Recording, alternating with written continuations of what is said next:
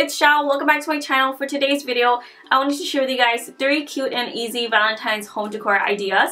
For these items, I wanted to make them a little bit more practical and items that you can set out year-round and not only for Valentine's Day. So if you guys want to go ahead and see how I made these DIYs, then definitely just keep watching. Also, if you guys are new to my channel, please make sure to press that subscribe button if you'd like to see more videos from me. But without further ado, let's go ahead and just get into the video. Alright, so for the first DIY, we're going to go ahead and revamp up some old Christmas lights with some decorative ping pong balls. You can have these set out with the light on or off, they look cute either way. Alright, so for the materials, you'll need some old Christmas lights. I purchased these from Menards a long time ago. You also need some ping pong balls. I got these from Walmart for $2 each, but they do sell a pack of 36 for about 9 to $10, or else you can purchase them off of Amazon. You also need your color of choice of spray paint and glitter. Also, you'll need Mod Podge for the glitter, um, a paintbrush, an X-Acto knife, a container, and then optional are cake pop sticks. Alright, so to begin, you just want to take one ping pong ball at a time and carefully with your X-Acto knife cut an X into it. So it's going to be about 3 4 to an inch long. So if your ping pong ball has some text like mine, you can cut it there. But this is what it should look like, just a simple X. And then once that's finished, just go ahead and repeat the same steps to the rest of the ping pong balls. This next step is optional, but I had some extra cake pop sticks laying around, so I just inserted those into the X that we cut, and this is going to make it a lot easier for spray painting. Next, I went ahead and started to spray paint 6 of the ping pong balls gold. I decided to divide them into 6 gold, 6 pink glitter, and then I left 6 of them plain. And again, this is going to differ depending on how many ping pongs you have. So I actually spray painted these in my bathtub and that didn't turn out to be the best idea. So I would really recommend spray painting outside if you can. So once you're done with that, you just want to let them dry. And while they're drying, we're going to go ahead and work on the glitter ping pong balls. Alright, moving on to the glitter ping pong ball, I did go ahead and, and use cake pop sticks again because it just made application way easier. So all you want to do is generously apply Mod Podge all over the ping pong ball. Without letting it dry, you want to go ahead and next sprinkle your choice of glitter all over it and rotating it, making sure that the whole ping pong ball is covered in glitter. You also want to make sure not to apply too much of a thick coat or else when the Christmas light is turned on, you won't be able to see the light as well.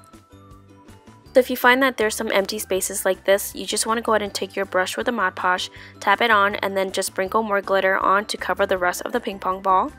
Once that is finished, just go ahead and tap off the excess glitter, let that dry, and repeat the same steps with the rest of the ping pong balls. But this is how they all turned out. Like I stated, I decided to use some gold, pink glitter, and then I left some blank just to have a little bit of a contrast. So next, all you want to do is take your Christmas light and take one ping pong ball at a time. Where that X where you cut, you just want to insert the light bulb in, and you also want to make sure that you go over the bulb and go over that little white piece as well. So I just decided to alternate colors. So I did gold, pink glitter, white, and then just repeated those colors. You can do that however you'd like. Just repeat these same steps until all your ping pong balls are finished and you are done with this DIY.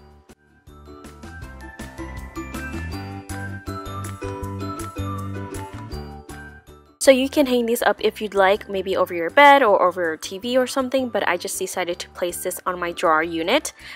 Next, just go ahead and plug in your Christmas lights and enjoy your DIY revamped Christmas lights. So this is what they look like in a bright room. You can see all the patterns and the glitter really, really well. And then this is what they look like with the lights turned off. You can see the lights glowing and it just looks really cute and really pretty. So yeah, I hope you guys enjoyed this DIY and let's move on to the next one.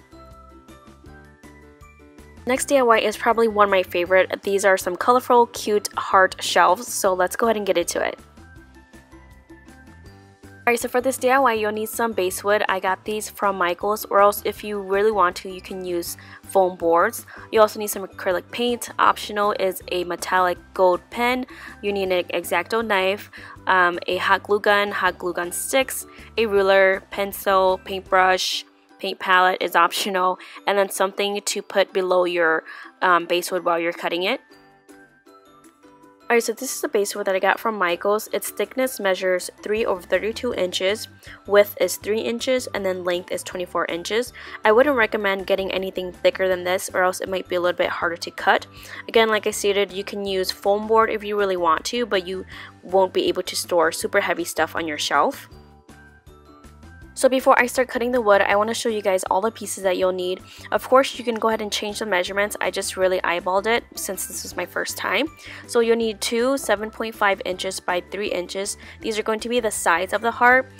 You also need two 4 inches by 3 inches. These are going to be the top of the heart. You also need 4 pieces of 2.5 by 3 inch pieces. These are going to be the sides of the top of the hearts.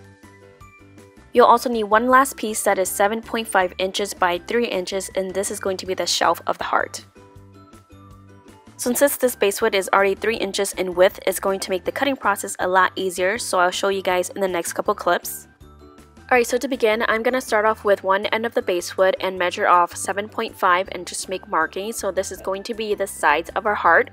So you want to do this and draw a line so you know where to cut and then flip that over, measure again and draw a line so you are cutting on the same spot. Next, before we move into cutting, I'm just going to put something behind the board so that I don't damage my desk. And then you just want to score two to three times on each side. So once that's done, I'm going to flip it over and then do another two to three scores until you can kind of hear it break. Next, you just gently want to break them apart like that. And then with the leftover basswood, I already went ahead and measured another 7.5 inch in length and we're going to go ahead and score that again on both sides. So score one side, flip it, score it again, and then just break that off. You want to repeat these steps so that you have all the pieces that I mentioned at the beginning.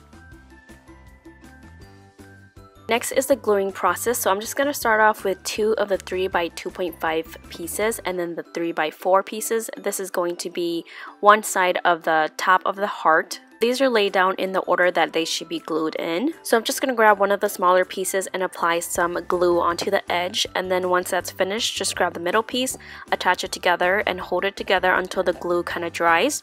And then you want to apply more glue to the other side and take that smaller piece and connect it together and hold in place. Next, we're going to repeat these same steps to the other three identical pieces to make the other side of the top of the heart. Next, taking the 3 by 7.5 piece, we're going to go ahead and attach that to one side of the top of the heart. So just apply glue and attach them, press until they are cool, and then repeat the same steps to the other side of the heart. Lastly, you are left with two sides of a heart and all you want to do is glue them together, of course. And then before we add more glue, you just want to go ahead and structure the heart the way you want it. So I kind of wanted the center to be down a little bit more, so I'm just pushing it down. And then here I'm just going to take my glue gun and add more glue um, where they connected, so on the inside and the outside.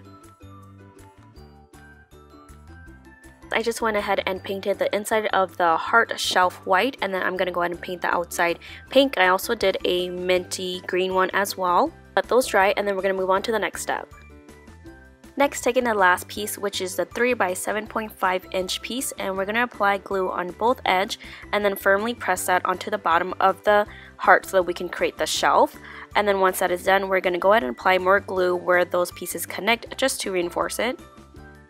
This part is optional, but I had a gold metallic marker laying around, so I decided to color in the edges of the shelf, and this just added the cutest gold pop of color. To display it, I just put these in the hallway of my apartment and I just use some thumbtacks on each corner of the heart and then just simply go ahead and decorate with any of your favorite pieces. I just put in this small little frame and then added some really nice pop of color of nail polish and then I also added these really cute little succulent plants that I got from Michaels as well and I love the way this DIY turned out.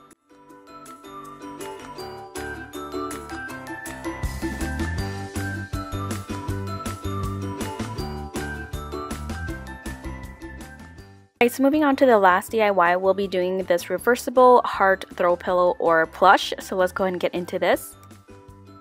So I accidentally deleted the clip of all the materials, but it's really simple. You just need some fabric, a hot glue gun, glue sticks, stuffing, which you can just get from a pillow, scissors, and marker. Alright, so I started off by turning one piece of the fabric upside down so I can work on the back. I just freehanded a heart. You can do a heart, a star, or whatever you'd like. Um, and then once that's done, you go ahead and just cut the outline that you traced. Next with the other piece of fabric face down, my fabric was the same on both sides so I just left it that way. I put that heart on top and then uh, used my marker to trace over that and then again just went ahead and cut that out. So once that's done we're going to go ahead and let that first fabric, the pink one, lay the way that we traced and cut it and then with that silver piece facing down we're going to go ahead and line them up and then you simply want to go ahead and take your glue gun and start gluing the edges. You just want to go a little bit at a time and then press firmly so that they both stick together together. Continue this until you get almost to the beginning, but you want to leave a gap so that you can go ahead and put in the stuffing. But of course, before you can start stuffing, you have to go ahead and stick your hand in there and turn it inside out so that all of the um, fabric is showing. So you just want to adjust that and then simply go ahead and start stuffing it up. So I started stuffing one side of the heart first, the one farthest away from the hole, and then just started working my way to the bottom and then to the entrance of that hole. And then lastly, all you have to do is seal up that gap that you left. All you want to do is just add a little bit of glue gun to that silver piece or that bottom piece. Um, take that top fabric, fold it inside, and then you just want to lay it on top and then pinch that until it dries. And just like that, you're finished. So you can go ahead and choose the silver side or the pink side. It's really simple. You can go ahead and change them up however you like to, but I really, really loved how this turned out.